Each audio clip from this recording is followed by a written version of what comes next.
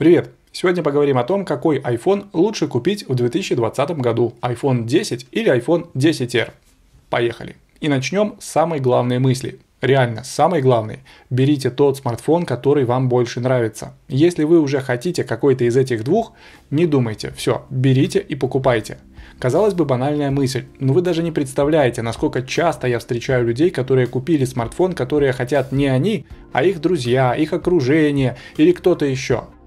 Самый важный момент – это ваши деньги, тратьте их так, чтобы они вам принесли пользу. Ну а если вдруг вы еще не определились, если вы из тех людей, которые ну, действительно не знают, какой выбрать, iPhone 10R или iPhone 10, тогда это видео будет вам полезным. Ролик будет построен следующим образом. Сначала поговорим про основные заблуждения, потом подробно разберем дизайн, камеру, дисплей, производительность, звук, в общем все-все-все моменты, но начнем вот прямо сейчас с признания. Я понятия не имею, зачем снимать этот ролик, и появился он только потому, что зрители об этом просят. Я сам не стою перед выбором между этими смартфонами двумя, понятия не имею, как можно стоять между выборы, перед выбором между этими двумя смартфонами, но об этом поговорим в самом конце, я вам объясню вообще, что, куда и почему.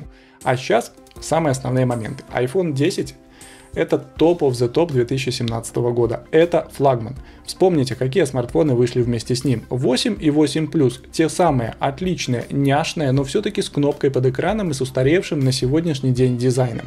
И поэтому, когда появилась десятка, это было вау, это было круто и большинство людей хотели именно ее. Вот тогда. Это топ of the top 2017 года.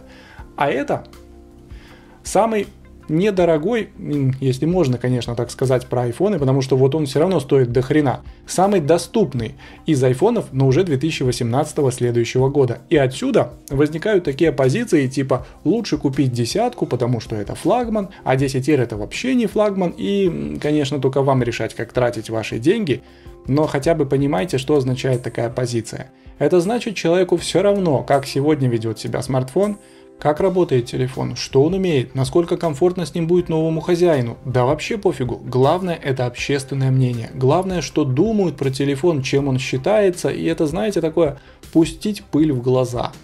Вы правда хотите принимать решения, руководствуясь не своими предпочтениями, а мнением окружающих? Вам правда свое мнение настолько мало значит? Я вообще не против, это ваши деньги, вам решать, как их тратить, моя задача только обратить ваше внимание. Ну что, давайте детально про отличия и начнем с дизайна. Десятка выпускалась в двух цветах. Я называю их черный и белый, но правильно говорить серый космос, вот это серый космос, и серебристый. У 10R выбор цветов богаче, ощутимо богаче. Есть все те же черный, белый, а кроме них еще есть желтый, синий, красный и вот такой замечательный коралловый. Десятка, она, знаете, такая более взрослая по дизайну. Она такая более аристократичная и даже более премиальная по ощущениям, я бы сказал, чуть попозже объясню почему. 10R он крупнее, смотрите рядом.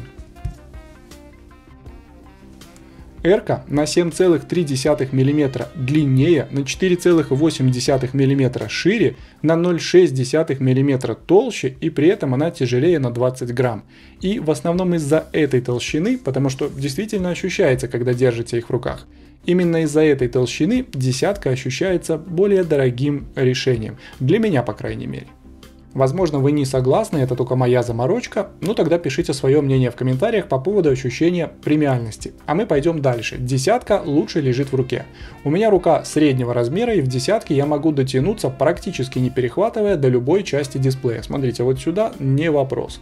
Даже вот в дальний угол раз, даже в дальний угол телефона могу достать, перехватывая, конечно, но не то чтобы сильно. А вот в 10 терке уже такой фокус не пройдет, ну, ну потому что надо как-то даже больше, чем вот так тянуться. И в целом десятка, еще раз, удобнее лежит в руке. Рамки. В 10R рамки однозначно толще, это заметно, но давайте в цифрах. Они толще где-то на 1, ну максимум на 1,5 мм. Это правда так критично? Представьте себе 1,5 мм. Да это практически ничего. Пока вы смотрите на рамки вблизи, расскажу вам, какие гневные комментарии чаще всего прилетают про рамки iPhone 10R. Люди пишут, никогда, ни за что не куплю себе этот смартфон, потому что у него огромные жирнющие рамки. Что это означает? У человека нет собственности этого телефона. И в лучшем случае человек составил мнение, повертев смартфон в руках в шоуруме несколько минут или взяв у знакомого. Это отзыв без реального опыта. Не зря владельцы вот этих смартфонов, те люди, которые их купили, те люди, которые ими пользуются, рамок не замечают. Это не просто так. Рамки действительно не мешают. Давайте пойдем дальше и поговорим теперь про материалы корпуса. Стекло спереди и сзади и сразу договоримся, одинаковые моменты в этом ролике мы обсуждать не будем. Наша задача выбрать этот телефон, десятка или 10 поэтому будем говорить только про отличия. И отличия в материалах, они по бокам. Боковая рамка в iPhone 10 выполнена из нержавеющей хирургической стали, отполированной до зеркального блеска. В iPhone 10R это авиационный алюминий 7000 серии и он уже матовый. Это значит сразу многое. Отпечатки пальцев намного охотнее остаются на боковой рамке десятки. Здесь же гораздо охотнее появляются всякие мелкие дефекты вроде неглубоких царапин, потому что отполирована до зеркального блеска рамка. Сама по себе нержавеющая сталь, она, конечно, прочнее, чем алюминий, но за счет отполированности происходит вот такая история.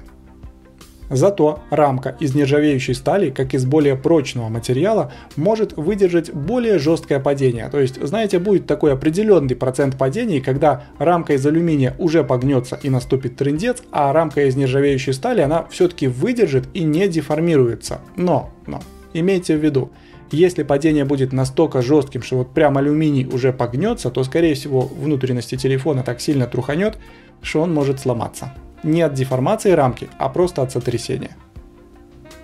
И еще один момент в дизайне, который может быть важен перфекционистам. Lightning разъем несимметрично расположен на задней крышке в iPhone 10R. Он смещен ближе к задней части телефона. Камеры. Одинарная, двойная. У десятки есть второй модуль телефотообъектив, который способен на двойное оптическое приближение. Правда, диафрагма у него слабовато 2.4, но об этом чуть-чуть попозже. Так вот, двойное оптическое приближение. Что это значит? У десятки в два раза лучше зум. Для фото это десятикратный, у десятерки пятикратный. Для видео шестикратный против трехкратного зум. Естественно, что десятикратный зум это не оптический, это гибридный. До 2х телефон он делает оптическое приближение, а дальше уже идет гибридный зум, оптический плюс цифровой. Примеры фото, видео, в том числе зума, будут попозже, а сейчас я хочу обратить ваше внимание вот на какой момент. На десятки делать зум, зумировать намного удобнее, потому что вот вы снимаете и хотите, допустим, приблизить. Нажимаете вот так вот раз, 2х, двойное оптическое приближение. Если хотите еще больше приблизить картинку, то делаете просто вот так, до 10x можно приближать и все это, ух ты, все это нормально получается сделать одной рукой. На iPhone 10R такой финт уже не прокатывает. Тут нет кнопки 1x, 2x. И если я буду вот такие движения делать по экрану, то переключаются просто режимы камеры. Здесь, чтобы сделать приближение, нужно использовать вторую руку. Это не всегда удобно. Портретная съемка. iPhone 10R может снимать в трех подрежимах. Естественный свет, студийный свет и контурный свет. IPhone 10 в пяти подрежимах. Кроме тех, что я уже назвал, есть еще, смотрите, сценический свет и сценический свет черно-белый. Но если мы будем говорить про портретную съемку на фронтальную камеру, то здесь в лидерах уже iPhone 10R, потому что у него 6 подрежимов на фронталку, а у десятки все те же 5. Кроме того, посмотрите сюда, вот на эту надпись на экране iPhone 10R. Люди не обнаружены. Основная камера может снимать на 10 портретные фотки только людей. Животных, м-м, извините, нельзя. Предметов тоже не получится. А у десятки таких ограничений нет. Можете снимать все что угодно в портретном режиме. И что интересно, вот этого ограничения съемки людей на 10 нету, если будем снимать в портретном режиме на селфи-камеру. Еще один интересный момент. Одно и то же фото было сделано вот на этот iPhone 10. Вот это iPhone 11 Pro Max. В чем фишка? Здесь 5 портретных подрежимов, здесь 3 портретных подрежима при съемке на основную камеру, а здесь целых 6 портретных подрежимов. Так вот, теоретически у этой фотографии изначально было 5 подрежимов, и если нажать корректировать ее, то посмотрите, на iPhone 10 вот они все 5 подрежимов. Но 11 Pro Max поддерживает аж 6, может быть 6 здесь добавится на корректировке? Не, ничего подобного. И причем обратите внимание, что функции изменения глубины тоже не добавляется. А на iPhone 10R вообще под режимы регулировать нельзя, когда я эту фотку на него скинул. И это было не просто отступление в сторону, я хочу обратить ваше внимание, что по-разному можно редактировать фотографии на смартфонах. У 10R, вот, например, есть улучшенная функция глубина в портретной съемке. Вот это вот, ну, практически фотография человека, в данном случае фигурки человека, и посмотрите, снята она на iPhone 10R вот на этот, и можно менять глубину резкости. Смотрите на задний фон.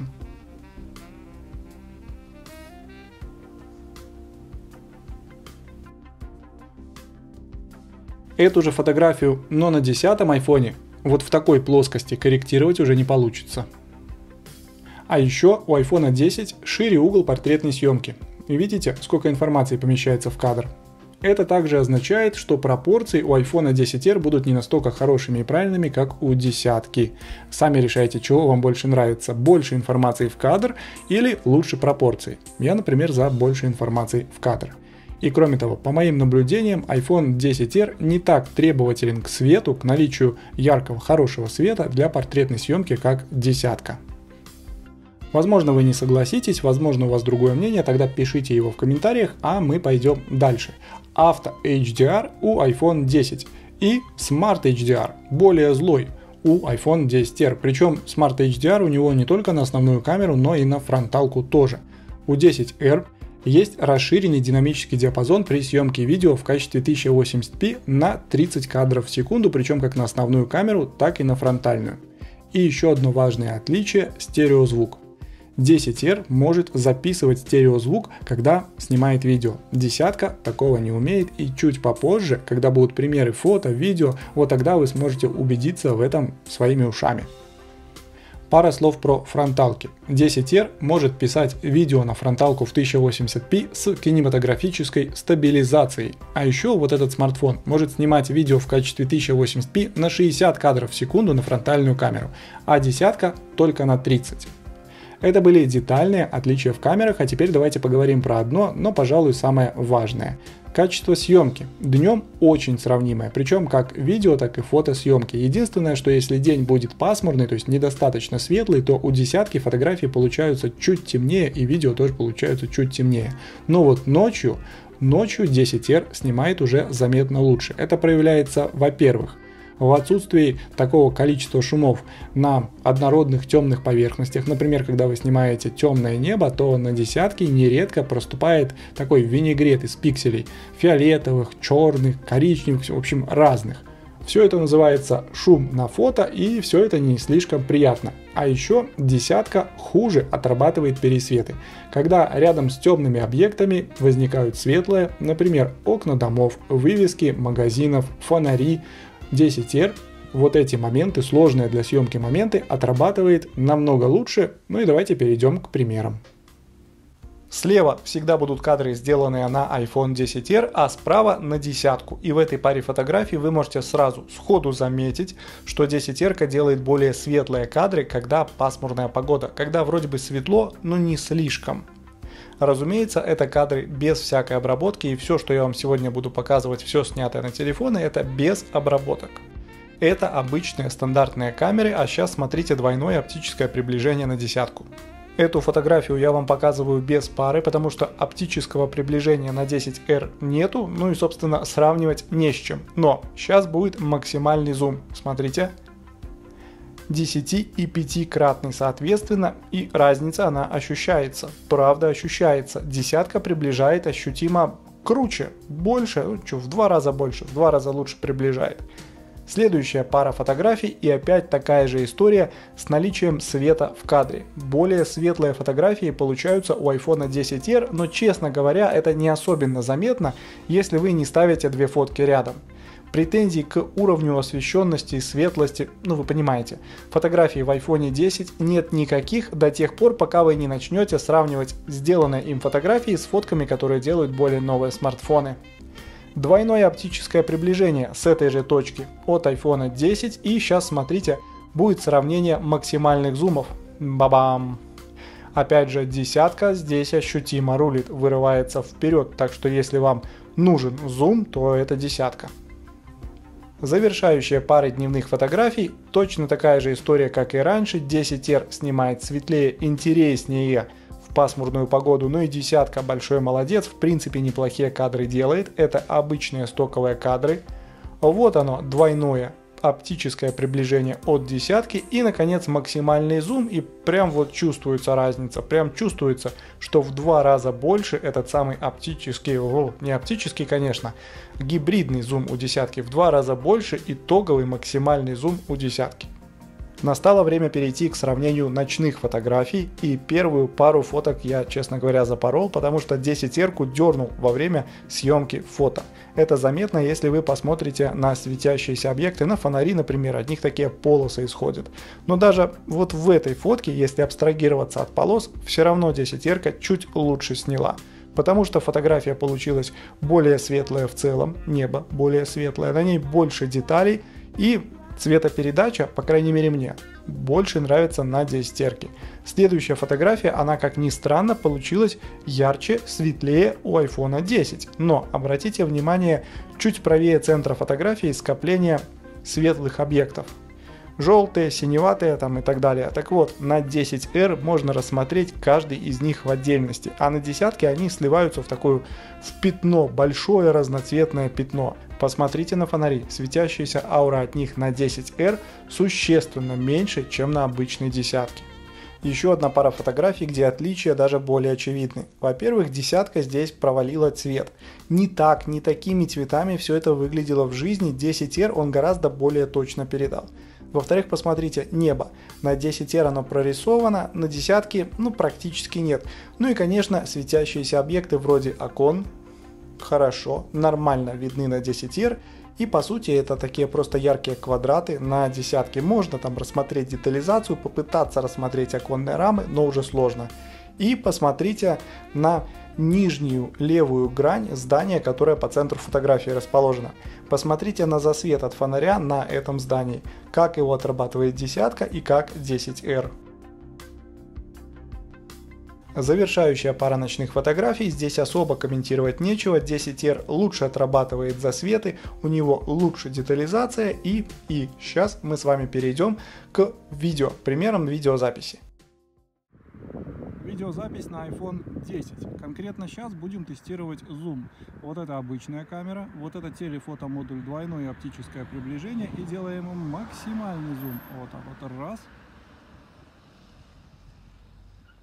iPhone 10R, видеозапись и сейчас опять же тестируем зум. Машины мимо ездят. Ну, конечно, куда без них. Делаем максимальное приближение. Вот это максимум что может в плане приближения дать iPhone 10R. А сейчас оцените уровень стабилизации. Это iPhone 10R, светлое время суток, практически день. Посмотрите на то, как телефон справляется с тряской. Я, конечно, руками стараюсь гасить как могу, но вы понимаете, вибрация все равно передается на смартфон. И вот сейчас вступает в дело уже стабилизация. Те же самые условия, запись на iPhone 10. Оцените уровень стабилизации, насколько хорошо телефон гасит тряску. Ну и, конечно, смотрите на качество картинки, на передачу цвета, на уровень деталей. Сейчас, кстати, не то чтобы слишком темно, но однозначно и не яркий солнечный день. Солнце практически село, на небе тучи, облака, что-то такое среднее между ними. В общем, оценивайте качество картинки. Звук, кстати, который вы сейчас слышите, это с устройства, без всяких обработок. iPhone 10, ночная видеосъемка, 1080p, 30 кадров в секунду, звук с устройства, как положено. Разумеется, все без обработок.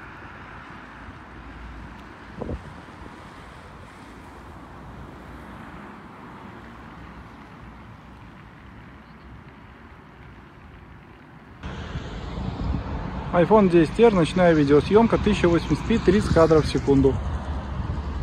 Все на стоковую камеру, без обработок, как телефон видит, так и вы видите.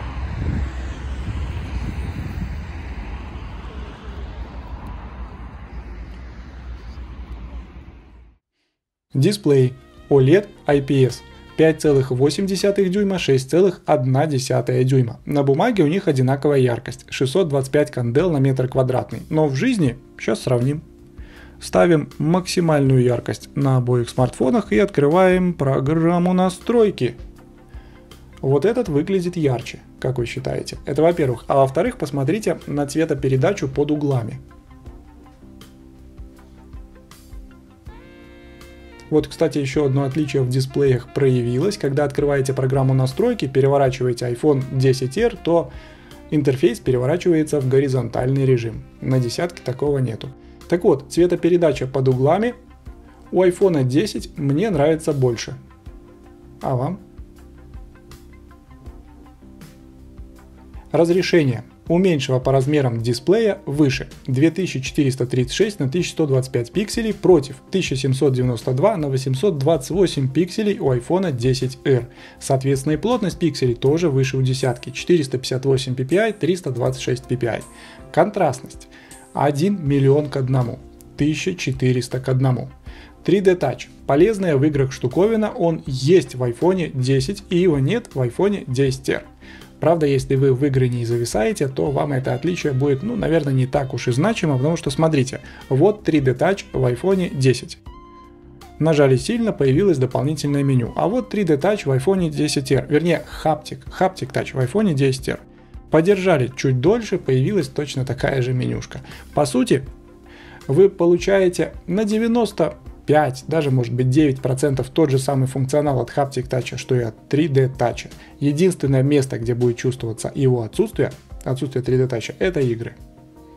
И, конечно, на экран 10R помещается большее количество контента. Сайт Apple в обоих случаях открыт. Посмотрите, у десятки информация на этом сайте заканчивается на слове iPhone 11, а у 10R влазит еще больше, вплоть до слов Learn More и Buy. Целом у десятки более навороченный дисплей. Здесь OLED, он более дорогой, здесь лучше контрастность, лучше черный цвет, но это не значит, что в 10R плохой экран. Вообще ни разу. Он тоже классный и у IPS технологий тоже есть преимущества. Например, нет выгорания пикселей, нет шима, ну и так далее.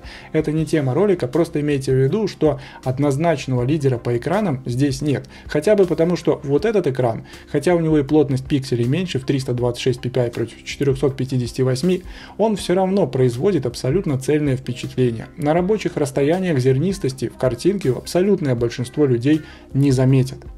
И, наконец, дисплей в iPhone 10R, он просто больше. Это никуда не денешь, на него больше помещается контента, поэтому тут уж решайте сами, чего вам больше нравится, а мы пойдем дальше. Производительность и начинка. Баллы в Antutu перед вами, версия Antutu последняя на момент съемки этого ролика 8.07. И я вам скажу, у 10R офигенные баллы. Но и у десятки тоже вполне себе. Вот этого смартфона десятки на сегодня вам хватит для решения, если не любых, то практически любых задач. Сегодня он отличный. Сегодня с ним все хорошо. Да, десятка быстрее. Да, у десятки на один год запас актуальности больше. Но тем не менее, прямо сегодня, прямо сейчас, вот этот замечательный iPhone 10 тоже офигически быстрый. Что у нас еще по производительности и по начинке у этих смартфонов разное. 10R можно купить в вариантах на 128 гигабайт, а десятка, я имею в виду встроенной постоянной памяти, десятка с таким количеством памяти просто не выпускалась.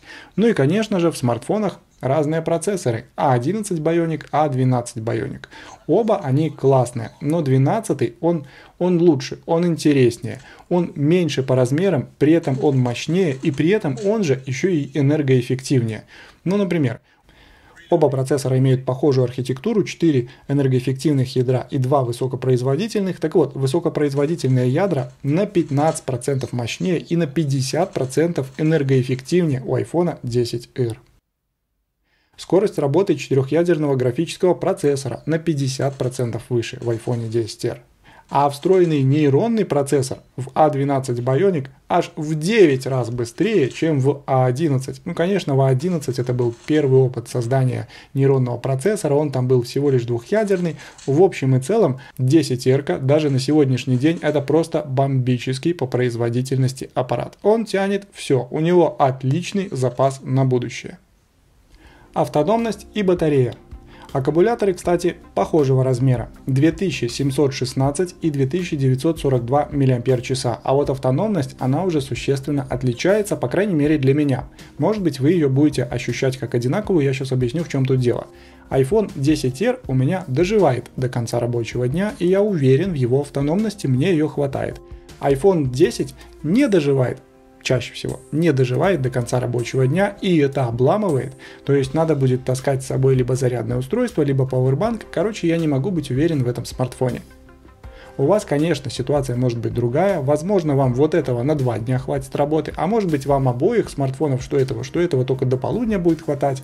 Но в моем случае вот такая происходит история. В целом, по официальным цифрам, iPhone 10 до 13, iPhone 10R до 16, 16 часов воспроизведения видео поддерживает. Аудио, соответственно, до 60 и до 65 часов эти смартфоны могут проигрывать, но, конечно же, в идеальных условиях, таких лабораторных. Вот прям редко такое в жизни встречается, но это официальные цифры Apple. В режиме разговора по беспроводной гарнитуре до 21 до 25 часов и в интернете до 12 и до 15 часов. Сейчас будем проверять, какой из смартфонов громче. Это iPhone 10s Max, на нем открыта программа шумомер. На смартфонах уровень громкости выставлен на максимальный. Открыт один и тот же трек из No Copyright Sounds.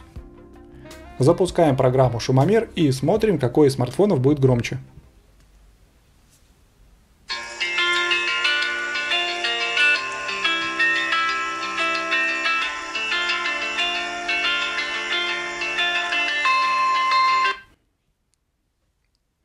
89 дБ, максимальный уровень громкости, который выдала десятка. Сейчас делаем то же самое, но с iPhone 10R.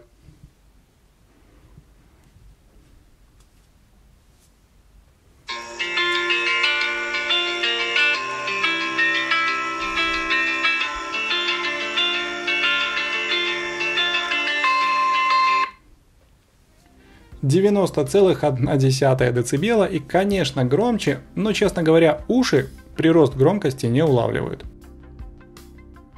Осталось еще пара моментов. У десятки одна сим-карта. Одна и все, никаких вариантов. У 10R сим-карты две. Может быть обычная плюс ее сим, либо же даже две физических сим-карты. Не так сложно сегодня эти аппараты достать. Кроме того, у 10R новее Face ID, но правда в жизни это никак не ощущается. У меня никаких претензий нету к работе технологии Face ID в iPhone 10. Все быстро, все очень четко, все более чем хорошо. Вот теперь мы с вами поговорили про все отличия между айфонами 10 и 10R. Настало время объяснить вам, почему я считаю сравнение этих смартфонов бессмысленным. О, кстати, смотрите, насколько хорошо читается информация конечно, не под прямыми солнечными лучами, но под отражением довольно яркой лампы на дисплеях iPhone 10R и 10. Так вот, почему я считаю сравнение этих смартфонов бессмысленным? Все дело в стоимости. iPhone 10 прямо сегодня в моем городе стоит всего лишь на 20 долларов дешевле, чем iPhone 10s. И поэтому практически никто не хочет покупать себе десятку. 20 баксов в масштабах стоимости этих смартфонов, ну это практически ничего. Люди берут 10s. И поэтому реально сегодня люди стоят перед выбором, я имею в виду тех людей, которым нравится именно вот такой форм-фактор телефонов. Они реально стоят между выбором iPhone 10s или iPhone 10r. Но вернемся к теме ролика и будем делать выводы. Эти смартфоны отличаются, сильно отличаются, и какой лучше конкретно для вас зависит от того, какие у вас критерии выбора, какие у вас предпочтения. Однозначно найдутся люди, которые скажут, вот для меня из этих двух лучше iPhone 10. Но найдутся и те, которые скажут, а для меня лучше из этих двух iPhone 10R. И я вот как раз отношусь ко вторым, потому что под мои критерии выбора 10R подходит круче, интереснее. У него лучше батарея, которой мне хватает на весь день, уверенно, и это важно. У него две сим-карты, и для меня это тоже важно. Вот уже хотя бы за это я готов выбирать iPhone 10R по отношению к iPhone 10. Ну а что выберете вы, пишите в комментариях. Спасибо, что провели эти несколько минут со мной. Ставьте лайки, пишите свое мнение о том, что вы увидели и услышали сегодня. Подписывайтесь на канал. Пока.